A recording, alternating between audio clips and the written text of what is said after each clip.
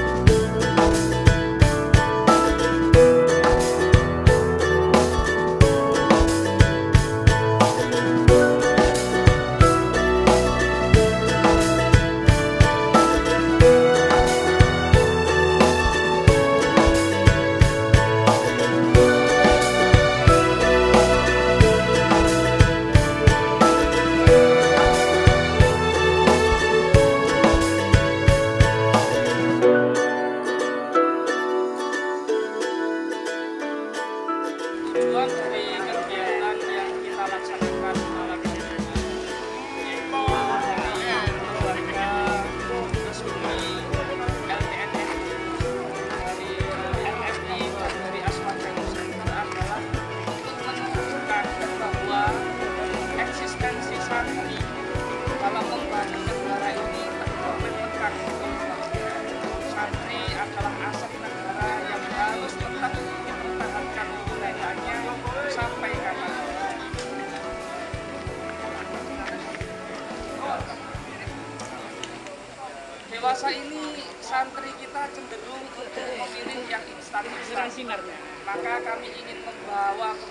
suasana santri seperti apa yang telah terjadi sejak zaman dahulu. Santri yang penuh dengan uh, kesederhanaan, penuh dengan kemandirian, masak-masak sendiri, memakai bahan yang bukan apa bahan yang beli, bahan cari kayu dan lain sebagainya. Kami ingin membentuk kembali menunjukkan kembali inilah santri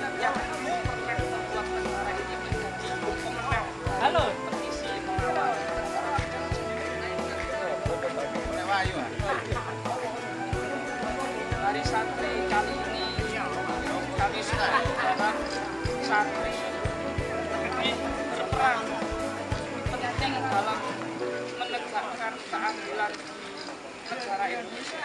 Kami berharap santri benar-benar menunjukkan eksistensinya dalam segala macam hal, dalam segala bidang yang ada di negara kita tercinta Indonesia.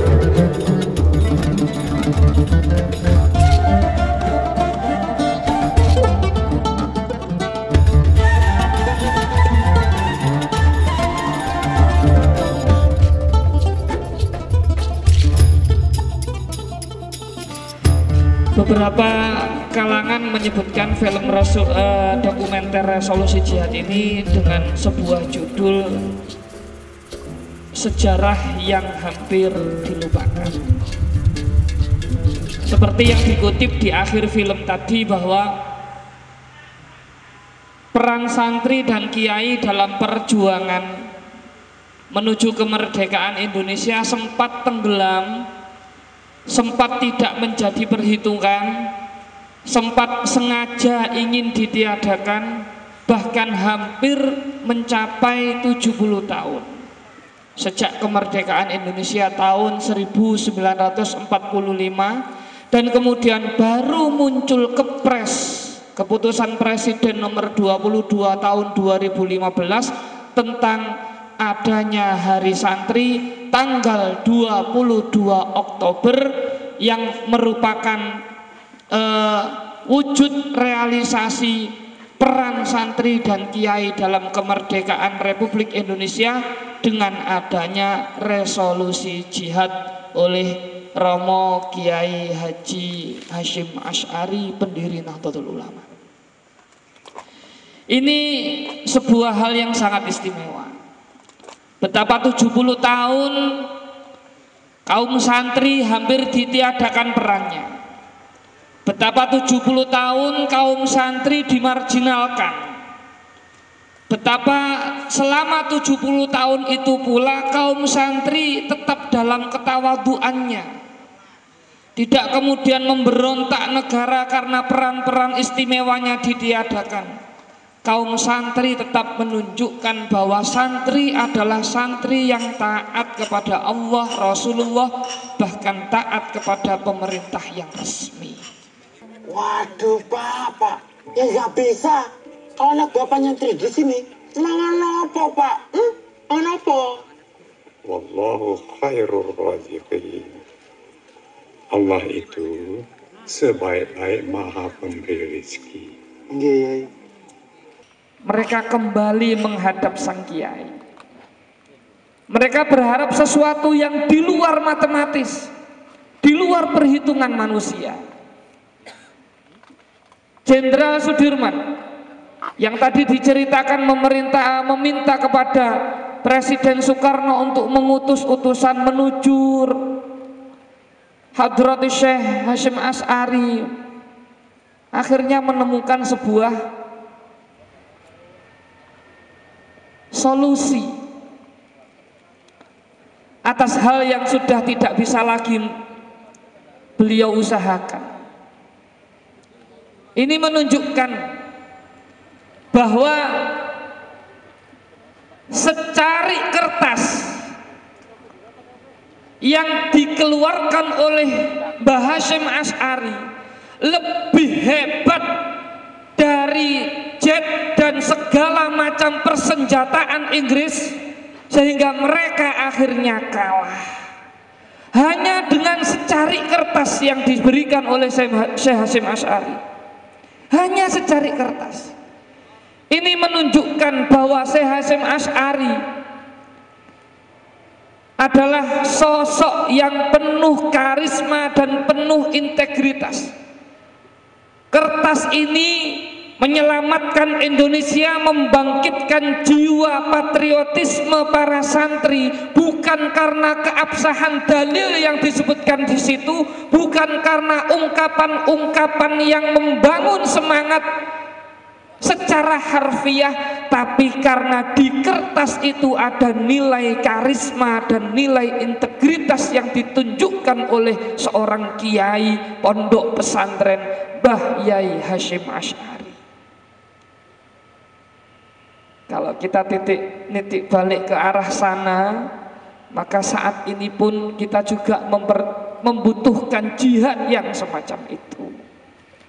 Jihad yang penuh karisma, jihad yang penuh integritas.